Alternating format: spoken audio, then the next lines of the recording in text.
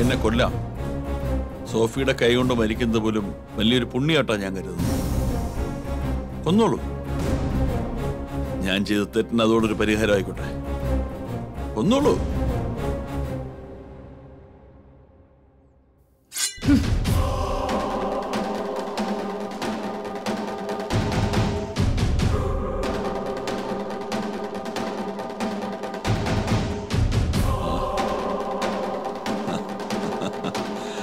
അപ്പൊ ഞാൻ വിചാരിച്ച പോലെ അല്ല സോഫിക്ക് എന്നോട് ദേഷ്യമൊന്നുമില്ല ഇനിയിപ്പോ എന്തും എനിക്ക് സോഫിയോട് പറയാം. വേറൊന്നുമല്ല സോഫി. എനിക്ക് എനിക്ക് നിന്നോടുള്ള ഇഷ്ടം എന്ത് വലുതാണെന്നറിയോ അതിപ്പോഴും അതുപോലെ നെഞ്ചിനകത്ത് കൊണ്ടു നടക്കുന്നവനാണ് ഞാൻ. ഞാൻ പറഞ്ഞു വന്നത് എന്താന്ന് വെച്ചാ നിനക്കൊന്നും നഷ്ടപ്പെട്ടു എന്ന് വിചാരിക്കുന്നു ഞാനുണ്ട്. ഞാനുണ്ട് നിനക്ക്. ഞാൻ നോക്കിക്കോളാം നിന്നെ ഒരു രാജകുമാരി പോലെ. അപ്പൊ ഇത്? ഇതെന്റെയും? പൊട്ടിച്ചു കൊടുക്കണം. അല്ലെങ്കിലും ഇതിലൊന്നും വലിയ കാര്യമൊന്നുമില്ല. ഒരു മഹത്വം ഇല്ല. താലിയാണെന്ന് തോന്നിയ താലി മാലയാണെന്ന് തോന്നിയ മാല. അത്രേ ഉള്ളൂ. നീ ഇപ്പോ എന്നോട് ജീവിക്കാൻ തീരുമാനിച്ച ഇതുവരെ നിനക്കുണ്ടായ എല്ലാ കളങ്കങ്ങളും അതോടെ മാറും. പിന്നെ ആരുടെ മുഖത്ത് നോക്കി വേണമെങ്കിലും നിനക്ക് പറയാം. വയറ്റിൽ വളരുന്ന കുഞ്ഞ് നിന്റെ ഭർത്താവിന്റെ ആണെന്ന് അപ്പൊ ആ വഴിയൊക്കെ ചിന്തിച്ചു. എന്റെ ഭാവിയെക്കുറിച്ച് ജെയിംസിന് നല്ല ഉത്കണ്ഠയുണ്ട്. അതും എനിക്കിഷ്ടായി? ഇതല്ലാതെ വേറൊരു വഴി നിന്റെ മുന്നിലില്ല. അബോർഷൻ നടത്താന്നായിരിക്കും നിന്റെ ചിന്ത. വെറുതെയാ? അങ്ങനെ ചെയ്താലും ആ ഓർമ്മ നിന്റെ ജീവിതകാലം മുഴുവൻ നിന്നെ വേട്ടയാടിക്കൊണ്ടിരിക്കും. നിന്നെ മാത്രമല്ല സോളമനെയും. കാലം പഴകുമ്പോ അവന്റെ മനസ്സിനകത്ത് നിന്ന് അതിങ്ങനെ തെകിട്ടി തെകിട്ടി വരാൻ തുടങ്ങും. ആണിന്റെ മനസ്സ് എനിക്കറിയാവുന്നത്ര നിനക്കറിയില്ലല്ലോ. അത് പ്രശ്നോ സോഫി. അതുകൊണ്ട് നിനക്കൊരിക്കലും ശാശ്വതമായ ഒരു സമാധാനം കിട്ടില്ല. ജെയിംസിന്റെ കൂടെ വന്നാ അത് കിട്ടും അല്ലേ? സംശയം എന്താ? ഞാൻ നിന്നെ പൊന്നുപോലെ നോക്കും. എന്താ ചിരിച്ചേ? ഞാൻ നുണ പറഞ്ഞതല്ല. അതെനിക്കറിയാം. നുണ എന്താണെന്ന് പോലും ജെയിംസിന് അറിയില്ല കളിയാക്കൊന്നും വേണ്ട. ഞാൻ ഒരു മോശക്കാരനല്ല എന്ന് മനസ്സിലായി കാണുമല്ലോ ആഗ്രഹിക്കുന്നത് എന്തും നേടുന്നവനാ ജെയിംസ്. അതിനി ഏത് മാർഗത്തിലൂടെ പോവാനും എനിക്ക് മടിയൊന്നുമില്ല. വെറുതെ എന്തിനാ നമ്മൾ തമ്മിൽ ശത്രുത? അത് അവസാനിപ്പിക്കാൻ ദൈവമായിട്ട് ഉണ്ടാക്കി തന്നിരിക്കുന്നത് ഇങ്ങനെ വഴി. ഒരുമിച്ച് പോയാൽ നമുക്ക് രണ്ടു രണ്ടുപേർക്കും കൊള്ളാം. അതല്ല അത് ഉടക്കി പിരിയാനാണെങ്കിൽ അത് നിനക്കും ഗുണം ചെയ്യില്ല എനിക്കും ഗുണം ചെയ്യില്ല.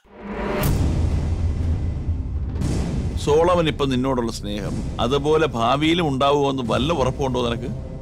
ഇല്ല ഉണ്ടാവില്ല. അതുകൊണ്ടാണ് ഞാൻ പറയുന്നത്. ഞാൻ പറയുന്നതിനെ കുറിച്ച് ചിന്തിക്കാൻ പ്രശ്നങ്ങൾ തീർക്കാനാണ് ഞാൻ നോക്കുന്നത്. ഉണ്ടാക്കാനല്ല. ആലോചിക്കുക സ്വസ്ഥമായിട്ട് ആലോചിക്കുക എല്ലാം നല്ലതിന് വേണ്ടിയാന്ന് ആലോചിക്കുക അത് ശരിയാന്ന് നിനക്ക് തോന്നുന്നു പോട്ടെ.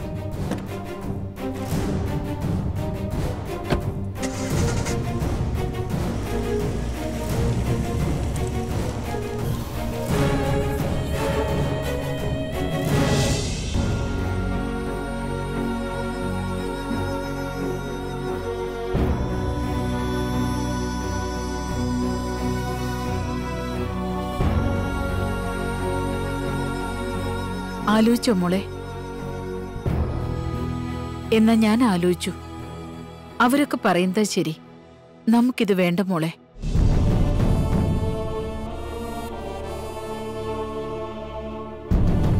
പക്ഷേ ആ തീരുമാനം മോളുടെ നാവീന്ന് തന്നെ വരണം.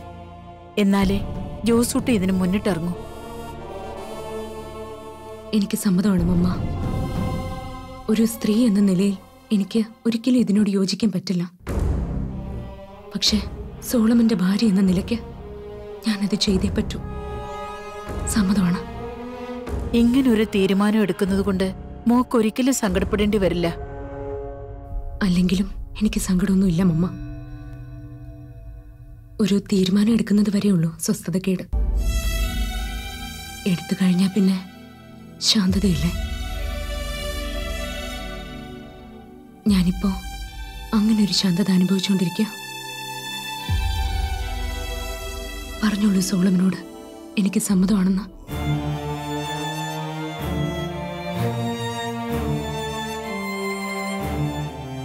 ഇത്രയും നല്ലൊരു വ്യക്തിയെ ഞാൻ എന്റെ ജീവിതത്തിൽ കണ്ടിട്ടില്ല.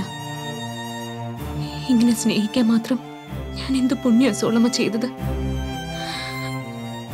മാപ്പ്. വേദനിപ്പിച്ചതിന് മാപ്പ്.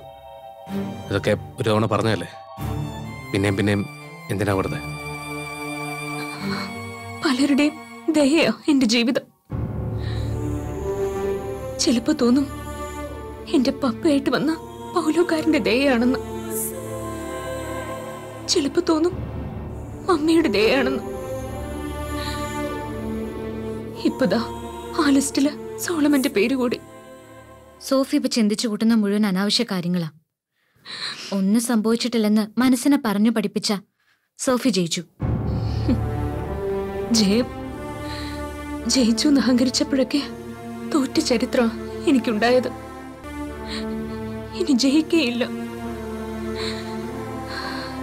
പക്ഷെ ഒരു തവണ ഒരൊറ്റ തവണ എനിക്ക് ജയിക്കണമെന്നുണ്ട്. ഒരു മോഹം ഒരു വാശി.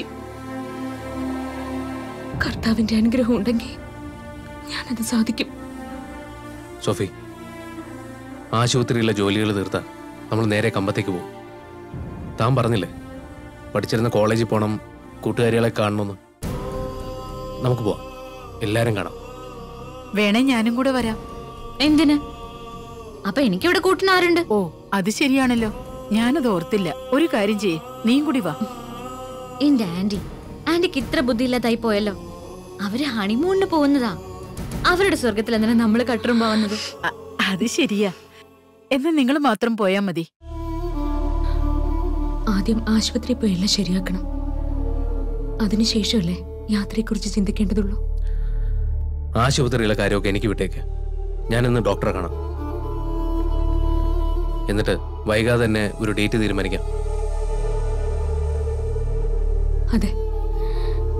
ഏറ്റവും അടുത്ത ദിവസം തന്നെ. അങ്ങനെ തീരുമാനിച്ച മതി. എനിക്കും ക്ഷമയില്ലാതായി.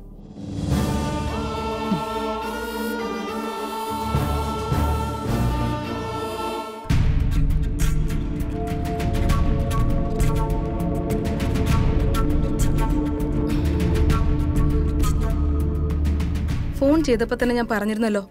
അബോഷനാണെങ്കിൽ ഇങ്ങോട്ട് വരണ്ടാന്ന്. അന്ന് അങ്ങനെ ചെയ്യാൻ തീരുമാനിച്ചപ്പോ ഉണ്ടായ ബഹളം സോളമ്മ മറന്നു കാണും. പക്ഷെ ഞാൻ മറന്നിട്ടില്ല. എനിക്ക് വയ്യ കേസും പുലിവാലുമായിട്ട് നടക്കാൻ. തന്നെയല്ല സോഫി അറിയാതെ വേണ്ടേ ചെയ്യാൻ. അതാണ് മറ്റൊരു തടസ്സം. ആ പ്രശ്നം ഇനിയില്ല ഡോക്ടർ. അവൾക്കിപ്പോൾ എല്ലാം അറിയാം. അവളുടെ സമ്മതത്തോടു കൂടിയാ അബോർഷൻ തീരുമാനിച്ചിരിക്കുന്നത്. എന്നാലും നിയമം അതിന് അനുവദിക്കുന്നില്ലല്ലോ. ഞങ്ങളുടെ അവസ്ഥ ഡോക്ടർക്ക് അറിയാലോ ഡോക്ടർ ഞങ്ങളെ കൈവിടരുത്. നിങ്ങൾക്ക് നിങ്ങളുടെ അവസ്ഥയാ വലുത്. എന്റെ അവസ്ഥയെക്കുറിച്ച് ആലോചിക്കാത്തെന്താ? അത് ഓർക്കാഞ്ഞിട്ടല്ല.